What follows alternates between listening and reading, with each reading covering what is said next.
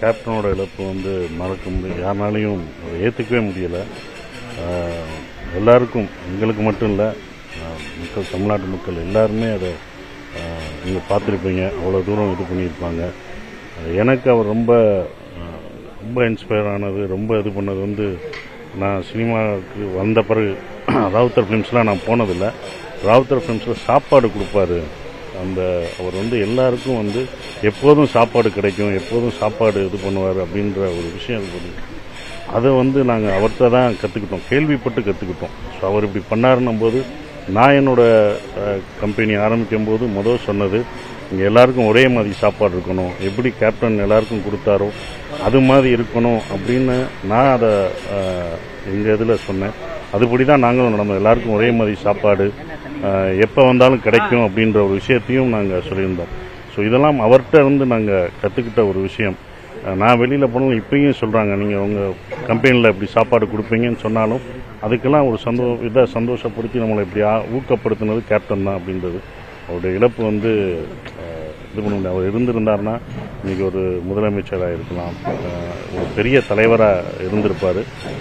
அவர் இழப்பு வந்து பார்க்குறோம் இது எம்ஜிஆர் அவர்கள் எவ- எப்படி இறங்கும்போது எவ்வளோ ஒரு கூட்டம் எப்படி இருந்ததோ அதே மாதிரி தான் கேப்டன் அவர்களுக்கு இருக்கு இருக்குது. இன்னும் நிறைய பேர் வந்து பார்த்துக்கிட்டு இருக்காங்க அவருடைய சமாதிகளுக்கு வந்து பார்த்துட்டு இருக்காங்க.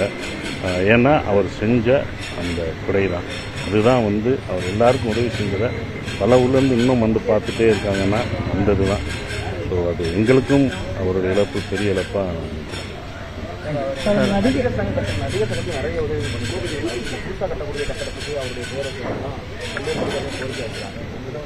அவர் பேர் தான் வைக்கணும். ஏன்னா நடிகர் சங்கம் கடன் கடனில் இருக்கும்போது அவர் தான் அப்போ நாங்கள் இல்லை.